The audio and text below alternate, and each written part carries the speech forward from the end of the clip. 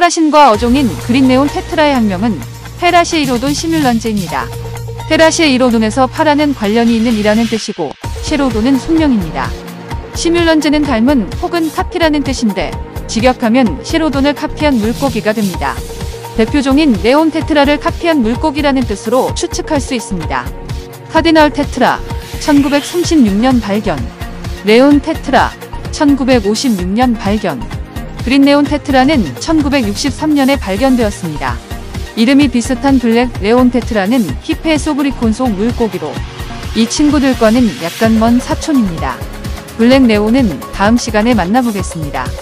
그린네온 테트라는 브라질 브랑코강, 오리노코강 및 오리노코강의 국경지인 콜롬비아 북동부 메타강에서 주로 서식합니다.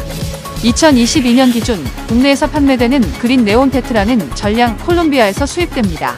동남아 등지에서 대량 인공 번식은 활성화되지 않았으며 그 이후로 동남아에서 인공 번식이 활발히 되고 있는 네온이나 카디널 대비 국내 판매 가격이 비싼 편입니다.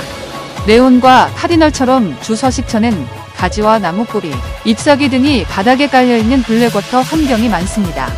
대부분의 black water 수질은 약산성을 띠는데 유기물이 분해되면서 나오는 humic산으로 인한 것입니다. 카디널 테트라는 서식지가 겹치지 않으며 네온 테트라와는 간혹 동일 지역에서 발견되기도 합니다. 그린네온 테트라의 최대 크기는 수컷은 2cm 내외이며 네온, 카디널보다 최대 크기가 작습니다. 암, 수 구분은 준성어급에서 백골의 크기로 확인이 가능합니다.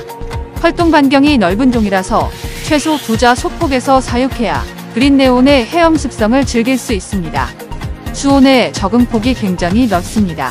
22도 이상에서 32도 내외의 고수온도 선호하기 때문에 디스커스 등 고수온을 좋아하는 어종의 mate로 좋습니다만 그린네온의 크기가 작을 때는 먹힐 수 있기 때문에 충분히 성장한 이후 합사하는 것이 안전합니다. 야생 개체의 경우 약산성 중성까지로 수질 적응 범위가 넓으나 중성 쪽보다는 물이 묵은 약산성 수질에서 사육하는 것이 더욱 좋습니다. 잡식성 물고기라 먹이를 가리지 않고 먹습니다.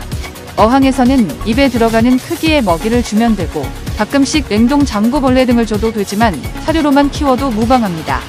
입이 앞쪽에 있기 때문에 수면에 떠 있거나 바닥에 가라앉은 먹이 모두 잘 먹습니다. 타 어종과의 합사도 좋지만 활동성이 강하고 운영을 굉장히 잘하는 종이기 때문에 그린네온 단일종으로 키우는 것도 꽤 볼만합니다. 대부분의 소형 물고기들과 함께 키울 수 있으나 크기가 큰 시클리드과 어종 및 대형 어와는 합사가 불가능합니다. 가급적 소형 어종과 합사하는 것을 추천합니다. 애니몰로 물고기 백과사전 그린네온 테트라 편이었습니다. 시청해주셔서 고맙습니다. 애니몰로 TV